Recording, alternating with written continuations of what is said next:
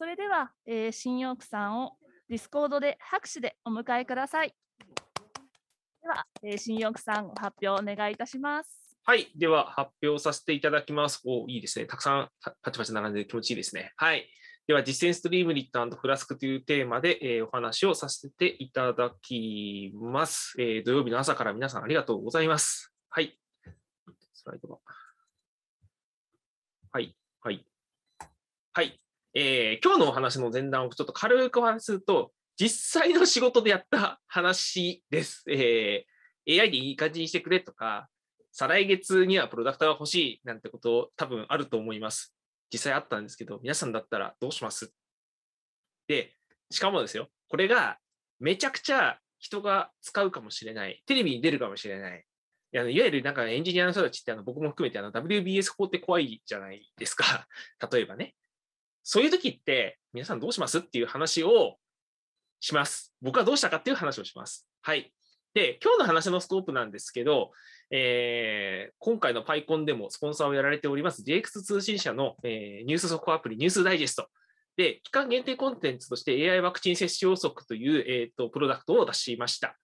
はい。で、えー、それを、えーと、私は実際開発担当したんですけど、えー、実際にストリームリットとかフラスクを使って、そのフェーズごとにどんどんビルドアップしていくという開発をしていったんですけど、それをいかに Python 使い、Pythonic にやったかという感じの話をします。で、ちなみに言うと、AI ワクチン接種予測はすでにサービスが終わっておりまして、えー、見てもらおうにも、えーと、見る手段がないので、今回は、えー、今回はですよ、この PyCon のためにですね、えー、しょうもない AI サービスを作ってきました。そのしょうもない AI サービスがサンプルアプリケーションをもとに、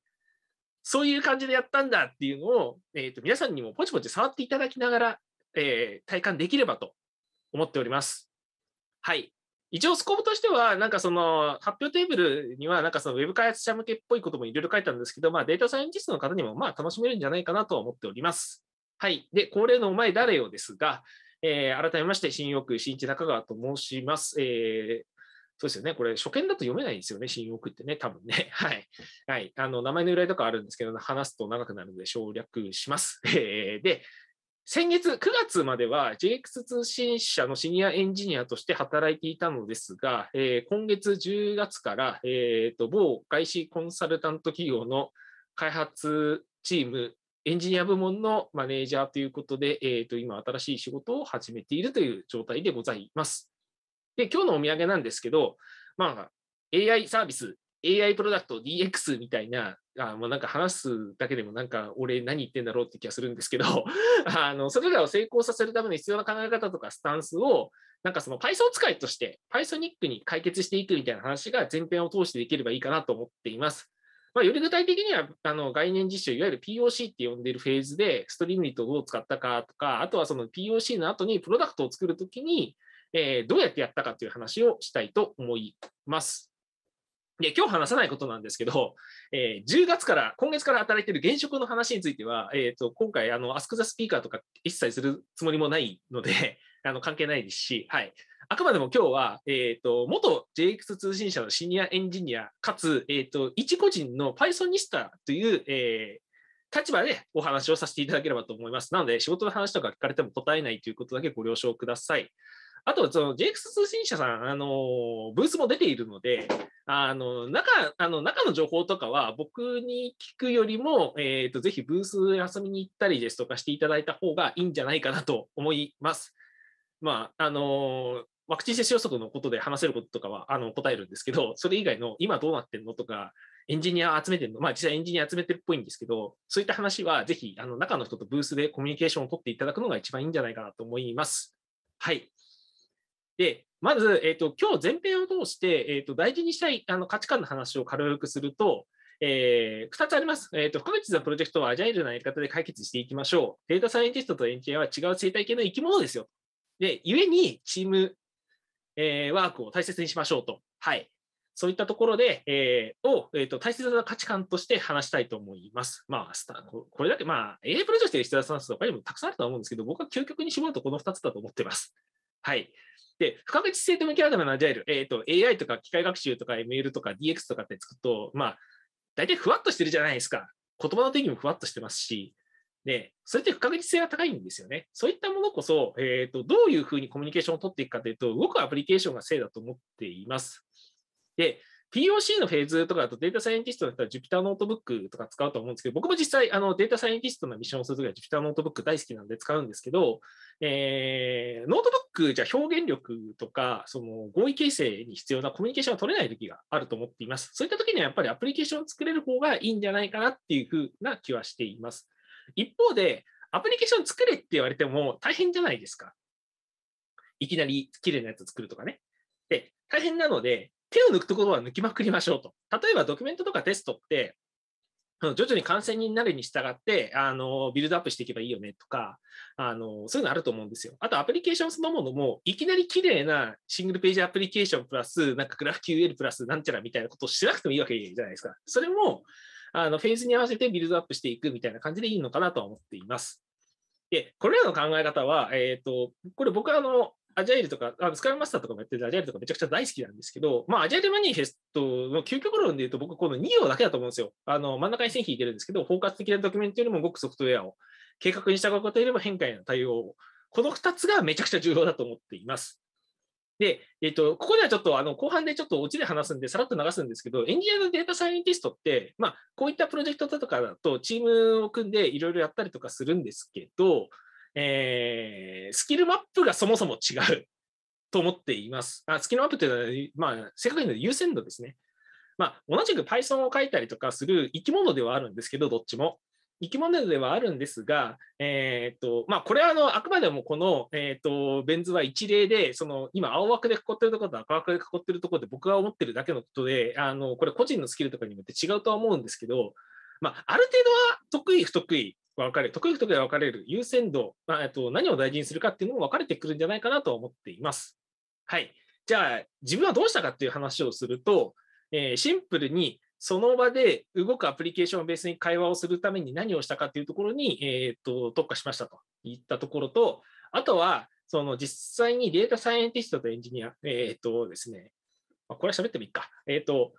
AI ワクチン接種予測のプロジェクトでは、まあ、ちょっとチーム体制とかは言えないんですけど、えー、実際のところメインのデータサイエンティストとメインのサーバーサイドの役割は僕が兼務していたんで、えー、と実際そのコミュニケーションの話は発生しなかったんですけど、一方で、片やデータサイエンス向け、片やエンジニア向けの、えー、作業をするインターンとか複数人いたので、えー、とその彼らの間でもコミュニケーションが必要でしたと。いったところで、じゃあそのコミュニケーションとかプロダクトコードへの移行みたいなやつをスムーズにやるかっていうのは結構重要なポイントでして、えー、とそこで今日何を気遣ったかっていう話もちゃんとできたらなと思っています。はい。で、えー、Python 使いが Pythonic にやるためにはっていうところ、あのこれらのことをやるためにはというところで、シンプルに POC は、えーと、ストリームリット、えー、POC からホームへの橋渡しは、まあ、普通の Web 開発ですね、この辺は。今回、あの、ちょっとタイトルにフラスクって入れたんですけど、まあ実際フラスクの話はするんですけど、別にこれフラスクじゃないとできないというか、フラスクが一番いいって言いたいわけではなくて、別に何でもいいです。ファスト API だろうが、ジャンゴだろうが、えっ、ー、と、ここは皆さんが好きなフレームワークとか仕事とか、なんかその、目の前の状況とかで使っているものの話に置き換えて聞いてもらっても大丈夫かなとは思います。別にフラスク専門の、なんだろう、あの、テクニックとかノウハウはあんまり出てこない気がします。はい。じゃあ実際どうやってやったんじゃっていう話をします。はい。まずは POC の話ですね。えー、で、えー、今回はお題として AI 大谷さん本類大予測なるしょうもないものを作ってきました。はい。これはですね、説明するよりも触ってもらった方が早いので、ちょっと待ってくださいね。触ってもらった方が早いので、えー、Discord のスレに URL を貼ります。はい。で、応ですね、ちょっと軽く見せるとですね、こんなの、あ、ちょっと、まあ、コネクションエラーとか出てますけど、コネクションエラーとか出てますが、ちょっと待ってくださいね。えっ、ー、と、今、今回の PyCon の発表用に一応作ってきました。はい。まあ、遊び方としては、まあ、大谷さんがホームラン打てるかどうかみたいなところとかを、えっ、ー、とですね、例えばこれ左投げ、球速135キロのスライダーを投げたら大谷さんって確率的、これ過去のデータとかを元にやってるんで、あれなんですけど、大谷さんってホームラン打てるのかしら？やばい。でも動くかな？あれ？嫌な予感がする。やめましょう。やめましょう。はい。えー、っと、まあですね、あの、ホームランを予測するための何かを作ってくれる AI サービスだと思ってください。はい。10分ですね。はい。えー、っと、はい。発表だけの限定公開です。コネクションエラーですよね。はい。はい。もうデモあるあるだと思います。はい。えー、っと、まあ、動いたとして、ひとまず動かす、ひとまず見せる Web アプリケーションっぽく、えー、仕上げるということで、えー、っと、ここから先は、あ、すみません。皆さん優しいですね。ありがとうございます。僕はちょっと胃が痛いですけど、皆さんの優しさに救われてる気がします。はい。で、ひとまず動かすっていうと、まず、えっと、 Streamlit はそもそも何かっていうと、口頭でちょっと補足すると、Jupyter ノートブックとかで書いたようなものとかを、なんかその、いい感じに、えっと、今みたいな Web アプリケーションにしてくれるやつで、別にこれあの、JavaScript とか HTML 書かなくても Python のコードだけで完結するっていう非常に便利なものです。はい。で、導入そのものは pip インストールでいけます。えー、ストリームリットで、えっ、ー、と、まあ、余裕ある方は皆さん手元でぜひやってみてほしいんですけど、pip インストール、ストリームリットってやって、ストリームリット貼ろうって打つと、えっ、ー、と、なんかそのデモが立ち上がります。あとはそこにサンプルとかコードとかいっぱい載ってるんで、写経するだけでも結構動きます。で、見せ方なんですけど、えっ、と、あの、今回、あ、今回っていうか、あの、前に仕事でやった時にはどうしたかっていうと、えーと、一言で言うと、円語録、語録で、えー、プロキシして、えーと、アプリケーションを見せました。えーとまあ、シチュエーションとしては、僕が、えーとまあ、こういうあのストリーム、あのなんかいろいろ検証とか実験しながら、えーと、その結果をストリームリットのアプリケーションとしてまとめて、で、えーと、ミーティングするときに一時的に語録で、えー、一時的な URL を発行して、それをチームメンバーに見せて、ああだ、こうだやるっていうフィードバックをもらうという方式を取りました。ただ、この方式って一時的とはいえ、あの URL を、えーと、なんか知ってる人は誰でも触れる全世界にさらすことになるので、えー、もちろんセキュリティルール上できないこともあります。そういった時には、うんと、現状では、えーと、2つ手段があって、自前の環境でやるか、自前の環境でやるっていうのは、えーとまあ、ストリームリットの正体自体は Python で動く Web アプリケーションなんで、まあ、ドッカー化するなり、なんか VM 上で直接環境を作るなりすれば、まあ、なんとかなるでしょう。準備した環境で、それであのデプロイしてあげれば、まあ、一晩見せることができますと。まあ、で、あの見せる範囲とかは、まあ、別になんかそのネットワーク的なあれなり、え、ー、と、なんか何かしらの認証で絞ればいいでしょうと。あとはその、今回ちょっと使おうと思って使わなかったんですけど、ストリームとクラウドサービスみたいなやつもあったりするので、まあ、それでもいいでしょうと。ただ、これなんか今、今、招待制っぽく、かつ、なんかあの、あんまよくわからなかったので、今回ちょっと使うのはやめました。ちなみに、ちょっとさっき失敗しちゃったんですけど、えーと、AI 大谷さんは、えーと、こんな感じのフローで動いていました。はい。え、ー、と、クラウドランっていう Google のあのコンテナベースのサービスで、え、ー、と、ホスティングして、それでリリースするまでを、あの、まあ、GitHub Actions でやったんですけど、この話はちょっと、後のスライドで、あの、もうちょっとちゃんと話します。はい。で、えー、ストリームリットは結構 Web アプリケーションと仕上げると仕上げるのは結構楽ちんにできます。えっ、ー、と、例えばフォーム部品とかそういうのは、えー、と Python のコード数行でいけますし、えーと、なんかその可視化するとかグラフに書くっていうのは、データサイエンティストの人だったらおなじみの Matplotlib とか Plotly とか、そのいわゆるなんかこう Jupyter ノートブック上で普通に使うでしょっていう可視化ライブラリとかフレームワークはそのまま使えます。あとは、あのページ遷移するようなアプリケーションも作れます。まあ、例として、さっきのアプリケーションでこのサイドに出ていたバー、これなんですけど、これとかは、そのコードとしてはたったこれだけです。えっと、セレクトボックスも、スライダーバーも、えー、サブミットボタンも1行で、まあ、実質なんか命令行としては1行で終わるぐらいの感じです。はい。で、実際ここまでやるとですね、えっ、ー、と、まあ、あの、アプリケーションとして公開しようが、円語録で公開しようが、まあ、ひとまず社内の人チームの人に見せることによって、あの、まあ、アプリケーションとして動けば、あの議論は進みますと。実際僕の仕事でも結構議論は進んで、なんかそのプロジェクトとしては前に進みました。はい。えー、っていうところで、これは結構重要なポイントです。Jupyter ノートブックだけでは、まあ、Jupyter ノートブッ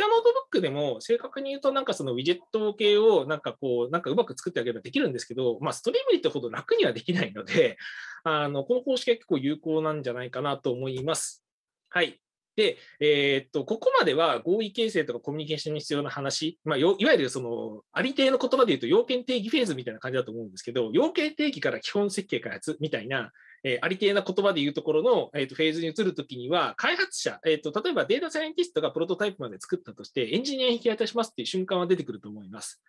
そのバトン渡しの時に、えっ、ー、と、やか、やっといた方がいいかなって思うことを一応挙げてみました。まあ、コード分割、テストを書くリファクタリングをする。まあ、ウェブ系の開発者をやってる人だったら、まあ、どれも一度は聞いたことある言葉だとは思います。まず、コード分割なんですけど、これ、あの、データサイエンティストの人が聞いたらちょっと胃が痛くなる話だと思うんですけど、あの、ある程度ものができて、よっしゃ、プロダクト開発するぞってなった時に、なじゃあそ、それを別のエンジニアが書くとなったときに、ジュフターノートブックの乱雑なメモで渡すのって結構あるじゃないですか。いや、僕も渡す側ももらう側も両方あるんですけど、あの、辛いじゃないですか、なんとなく。で、これっ、でなんかそのなぜ辛いかっていうと、あのなんかこの汚い子供を渡して大丈夫かしらとか、いろいろそういうポイントがあるんですけど、えーと、そうならないように、えーと、なるべくやっぱり意味ある単位に分けるのは大事かなと思っています。で、別にここで OOP で書けとか、なんかそういう綺麗ななんかそのデザインパターンに従って書けとは言わないんですけど、あの少なくともデータサイエンス系のものってデータの前処理とか入出力、モデル、まあ、学習予測みたいなところと、あとはその予測結果に対してどういった振る舞いをするかみたいな、まあ、ややアプリケーション仕様寄りな話に究極論の書いて3つに分かれると思うので、その3つぐらいに分けるのって別に自分でもできるよねっていう気はします。はい。で、えー、それに、そこまでできると、そうですね、関数に分けるだけでだいぶ楽ですよね。はい。で、そこまで分けると、テストをかけますと、関数に分ける、モジュールに分けるということは、そこに対するユニットテストが書けるようになるということなので、えー、ユニットテストに関しては、幸いにも Python って、まあ、すでに標準モジュールとしてあるのと、あとはそのサードパーティーだと PyTest は結構、あの、いろんなところにドキュメントとかも転がったりとかしていて、かつ、まあ、よく使う人も多いので、えー、やった方がいいのかなと。これ、重要なポイントとして、あの、AI プロジェクト、機械学習 ML プロジェクトってもちろん紙の、まあ、ペーパーとしての使用書もあるとは思うんですけど、ものによっては。えっ、と、なんか、動くものを正義、動くものありきで物事を進むこと結構多いじゃないですか。そうなった時って、じゃあ、その動くものって何が正解なのって、なんかその、幾分で書いてるロジックとかと違って、あの、この辺まで許容範囲ですみたいなふわっとした感じになると思うので、テストってかなり重要なんですね。で、えーと、このテストがあるなしだけで、あの開発者的にも結構幸せなんじゃないかなと思っています。まあ、あるだけであの壊れてるか壊れてないか分かりますし、あの期待してる振る舞いか分かるっていうのは結構あると思うので、絶対これはやった方がいいことだと思っています。で、一応努力目標としてリファクタリングまでできればいいかなと思っていて、テストがあってコード分割ができるっていうことは、そのより良いコード、より、えー、まあ、ここで良いコードっていうのは、なんかその繰り返しがなくなるとか、あのなんかパフォーマンスが良くなるとか、そういった意味でのより良いコードっていうニュアンスなんですけど、まあ、リファクタリングもできるようになってくると思うので、リファクタリングもできるといいでしょうと。で、個人的にはこの辺は、できれば、そのデータサイエンティストの人とエンジニアっては、あのロールが分かれてるときには、一緒にやる、まあ、ペアプロでもいいし、モブプロでもいいですし、何でもいいんですけど、一緒にやれるとよりいいんじゃないかなと思います。はい。で、えー、と先ほどのプロジェクト AI 大谷さんは、まあ、これ、まあ、全部自分で作ったんで、あのチームワークもへったくれもないんですけど、リファクタリングの時点で、あの左側が、えーと、こちらの左側がストリームリットで、右側が、えーとまあ、AP、あのクラスクので作った API みたいな感じなんですけど、まあ、本来欲しかったもの、まあ、なるべくパッケージ構成とかを一緒にするように、えーとリファクタリングしたりとかもしています。はい。といったところで、結構コード分割とテストというバケツリレーはかなり重要だなっていう話だとは思います。はい。ちょっとすみません。ここまで飛ばしたんで、結構、あの、水を飲みます。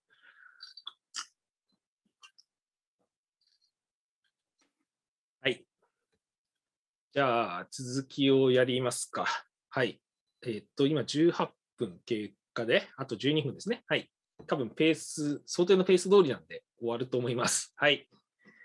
えー、ここまではストリームリットで実験とかを繰り返しながら、えー、POC、いわゆる概念実証フェーズ、やれるかやれないかをうんうん言いながらやって、じゃあこれやれそう、開発しちゃおうぜってなった後の話をしたいと思います。で、今回ちょっとデモとして用意しきれなかったんで、まあ、なんだろう、さっきの POC でやった AI 大谷さんのやつが、えー、とその予測モデル部分だけ、まあ、フラスク製のバックエンドのベストフルな API、普通に動きましたねあ。ありがとうございます。普通に動くそうなんで、ポチポチしてください。はい。えっと、まあ、普通に、まあ、あ普通に動くじゃない、えっと、まあ、API とフロントエンドで分かれたとして、じゃあ、こうなるとやっぱり開発フェーズとして結構いろいろ忙しい感じになりますと。で、仮にこういうアーキテクチャで今回やったとします。あ、これはあの、GX 通信社の、まあ、ちょっと以前僕が在籍した時に書いてたブログで、あの、ワクチン接種予測のあのアーキテクチャこんな感じですよという解説で書いたんですけど、あの、今回、まあ、今回のデモアプリもこんなノリだったとして、という前提で話をします。はい。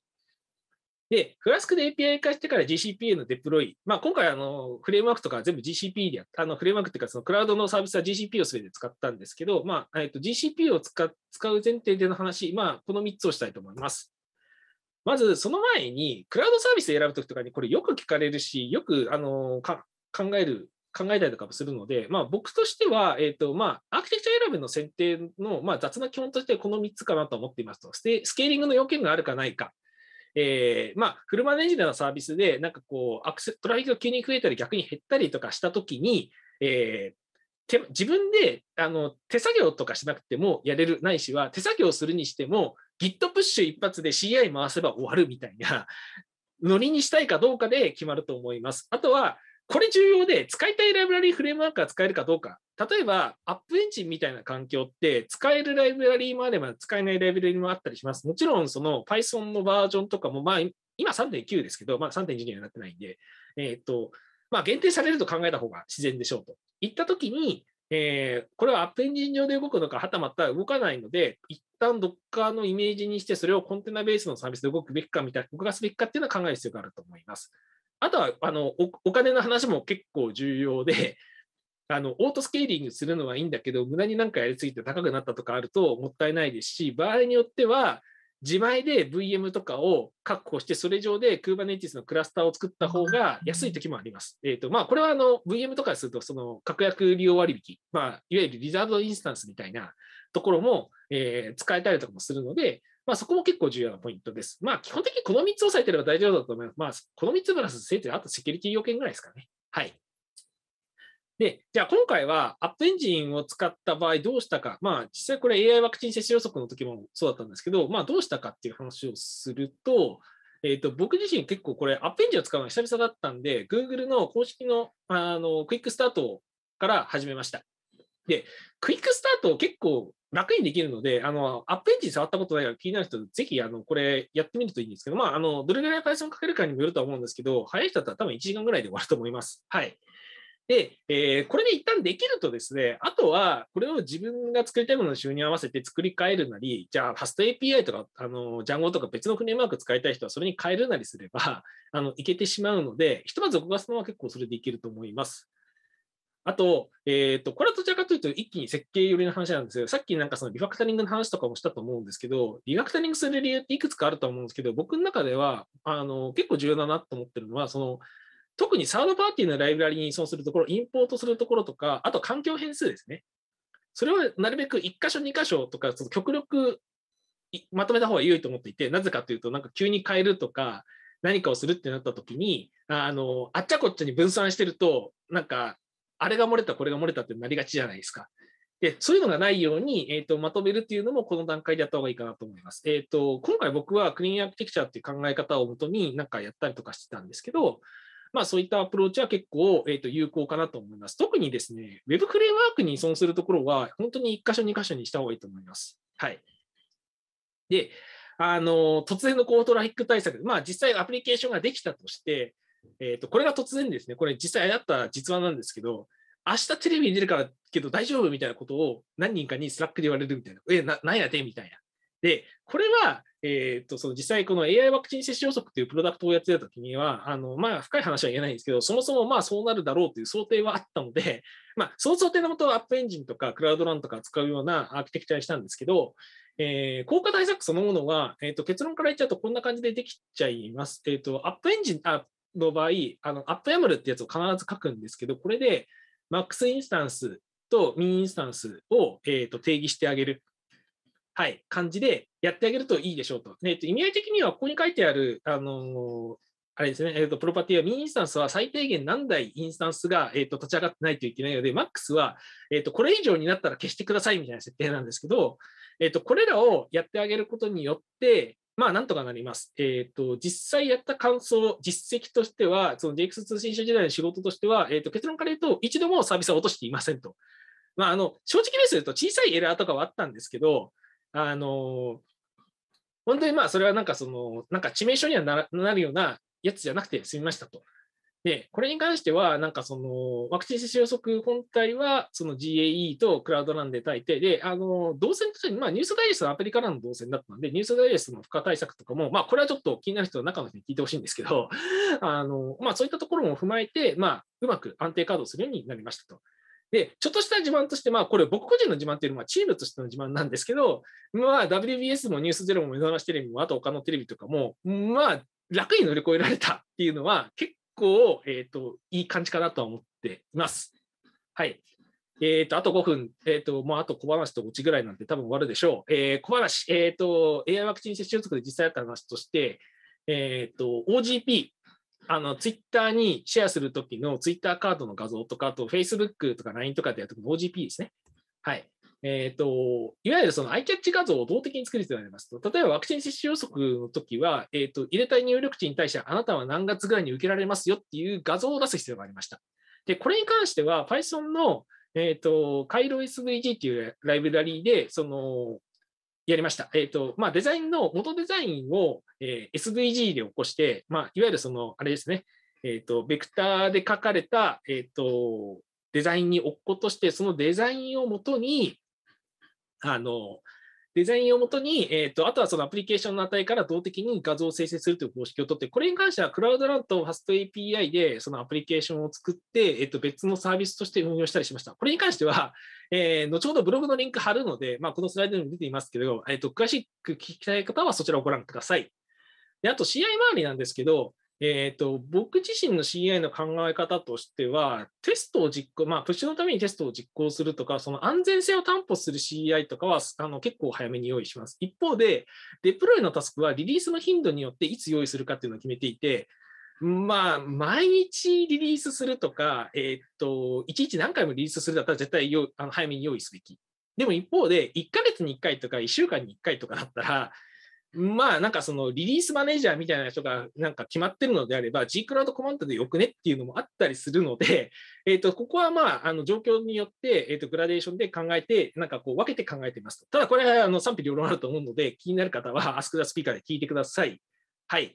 ちなみに今回あの見せているクラウドランのやつは先ほどもちょっとちらっとお見せしましたが、まあ、GitHub Actions でこういうフローを用意しています。はい。まあ、こんな感じで書けます。えっ、と、これはね、ブログに書いけな、書い書いたような気がするし、書いていなかったらちょっと後ほど書いて後悔します。はい。ということで、あと3分かな。はい。えー結び、えーもう一度大事なことなんで、あの、二度言います。えー、不可一なプロジェクトは、アジャイルのやり方で解決しましょう。データサイエンティストのエンジニアは違う生態系の生き物なので、チームワークを大切にしましょうという話をもとに、ストリームリットとクラスク、まあ、あとはちょっとしたクラウドの話をしました。えー、大体 AI プロジェクトが世に出るまでってこういうフローを踏むことが多いと思います。アイデアが生まれて実験して、ものにして、商品化まで磨くっていうのがプロダクト開発ですね。で、あとは世に出して、世の中のフィードバックが出てきたら、また再び、えー開発して出すと。で、ここって、データサイエンティストが頑張るべきところとエンジニアが頑張るべきところって、フェーズかぶってるんですね。まあ、今、なんかエンジニアだろうがデータサイエンティストだろうが、まあ、今のものの作り方って完全にフェーズでは分かれはしないので、必ずあのフェーズごとにやまなんかこう交わるところ、いわゆる寄水域みたいなものが存在するんですけど、えまあその寄水域をいかに据えするかが、この手のプロジェクトの成功にかかっていると思います。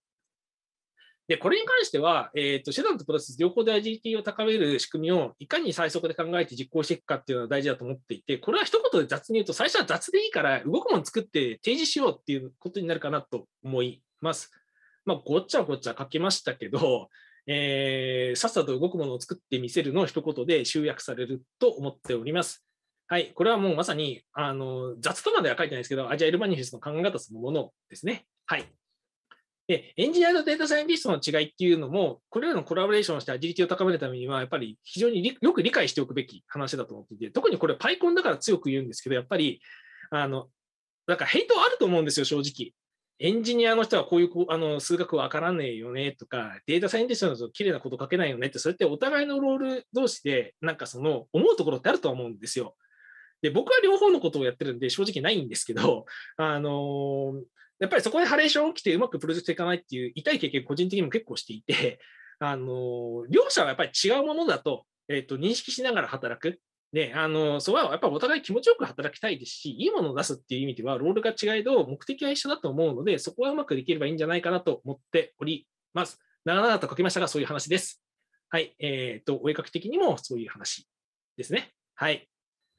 ということで、ごちゃごちゃ話しましたが、いい感じにする Pythonic のやり方というのは、サクッと動くものを作ってやっていこう。ということで、世の中にガンガンデリバリーしていきましょう。いいものを。はい。ということで、最後になりましたが、えー、と先月まで、えー、と在籍した JX 通信社のおかげで、えー、とこれだけいい経験といい感じのことをやらせていただきました。ここで、えー、とお礼と返させていただきたいと思います。4時20分から、えータッチさんがいい話をしてくれるらしいので、皆さん聞きに行ってあげてください。あとブログも見てあげてください。あのスポンサーブースもお願いします。ということで、私の発表はすみません。ちょっとオーバーしましたが終わります。ご清聴ありがとうございました。ありがとうございました。 shinyorkeさん、ありがとうございました。あの時間もちょうどという感じで、えっ、とコメントもあの Discord の方にたくさん来てまして、あのわかるみたいなものとか、あこれ知りたかったやつだみたいなあのコメントもいただいているので、あのとてもあの聞いている方にも好評のあのセッションだったなというふうに思っております。ありがとうございます。えっとご質問などもお受けしたいんですが、えっともうお時間になっておりますので、あのこのトークはあの終了をさせていただきます。で、えっとこの後ですね、あの別途 Ask the Speaker という機会がありますので、えっとそちらでご質問がある方とか、あのコメントをされたい方、あのお話しいただければと思います。えっとではあの shinyorkeさんの、えートークを終了します。えーご発表ありがとうございました。あの改めて、えー参加者の方は Discord で発表者に多く大きな拍手をお願いいたします。ありがとうございました。あの、ディスコードのそれ見てるので、あの、なんか質問っぽいやつとかは、あの、時間見て徐々に返していきます。あはい。ありがとうございます。ぜひお願いいたします。えーではあの今あの申し上げた通り、えーご質問がある方、また直接お話ししたい方は、えー、Discord の Ask the Speaker のトトラックチャンネルに移動してください。えー Ask the Speaker のトラックは、えー、PyConJP アンダーバー2です。えーあとは、えーお知らせになるんですけれども、えスポンサーによるスペシャルブースもありますので、えこちらもぜひ訪れてみてください。チケットをご購入した上で、えー参加していただいている皆様には、えスポンサーブースのスタンプラリーにもご参加いただけます。ご応募いただくと豪華景品の抽選に参加できるほか、参加賞もご用意しておりますので、えーぜひご参加ください。えーでは、改めまして、新奥さんありがとうございました。このトーク終了となります。